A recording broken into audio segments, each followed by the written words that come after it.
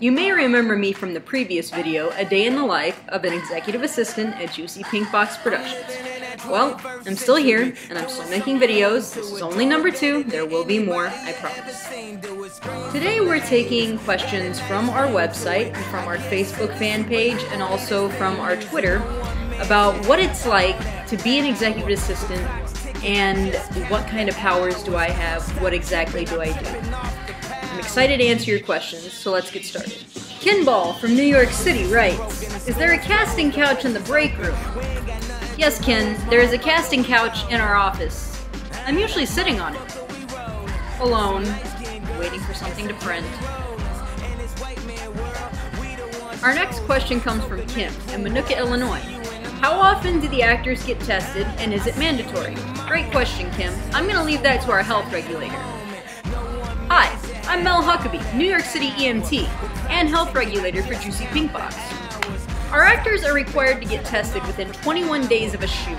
They must come back with a clean bill of health and we reimburse them for all testing costs.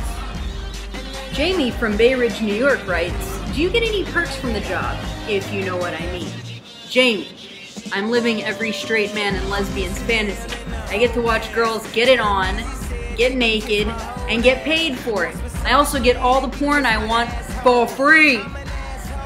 Shout out to my girl Anna in Houston. Hey, what up, girl? hate when DJs do that. Jesus Christ. Shelly from Winthrop, Massachusetts wrote us a novel.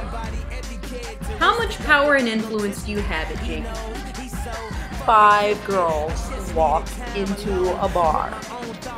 Hear me out. Four girls. Four girls. Okay, all in uh, like a uh, uh, road trip, and uh, the one one is in the back seat with the other one, and you know it's like one of those big SUVs, or maybe they have like a pickup truck or something, and they're like both.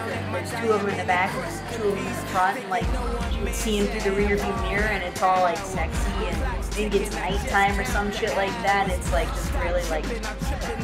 Any say in which actresses land a role?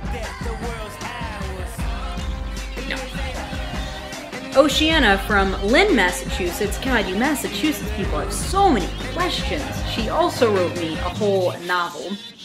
What qualities are most sought after in porn actresses? Nice tits. Enough said. Do actresses usually work multiple jobs? Do people recognize them often? Is it hard to be employed when your porn career is over? No. Rad from Texas writes, Do fluffers get benefits? Lesbians don't need no stinging fluffers! Our last question comes from Laura in New York City. What happens if someone is on their period? That's probably the hardest question to answer. It gets very technical from this point on. Be prepared. What we usually do is we send our PA to Home Depot to buy a sea sponge. Now I don't know why they can't just use those OB tampons and like stick them like way up there, but for some reason most of these people are vegans and shit like that, and I don't know. They need the sea sponge. So they go to Home Depot, you get a sea sponge, you boil it for about three minutes to sterilize it and it softens it. And then you take it out with a little piece of tweezers and then you have to let it cool or else it's gonna burn the inside of your stuff.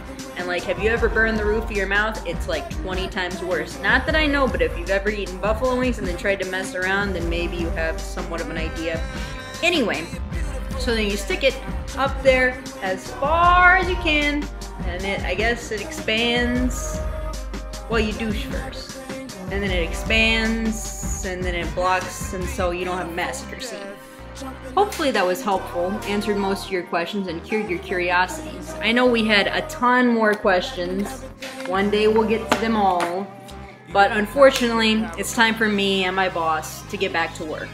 We'll see you soon. Thanks for tuning in. Okay.